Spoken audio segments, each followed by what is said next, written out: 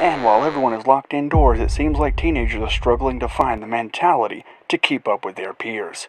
Suicide rates have gone through the roof since the ATAR exam has taken priority for those 17 years and over. With the highest scores looking to be successful in finding jobs at the ministry, and the lower scores being considered a failure. Are you filming me? Why are you filming me? Is this for the school project? I, I didn't I didn't read mine. I, I couldn't find the right subject. I, I don't hope I don't get enough. I mean I would just die if I got enough.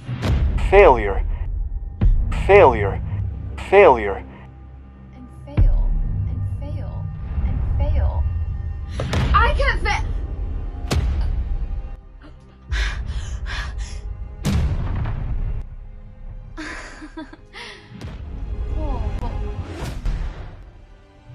What would my peers think if I got an F? The whole school would laugh at me. No, the entire world.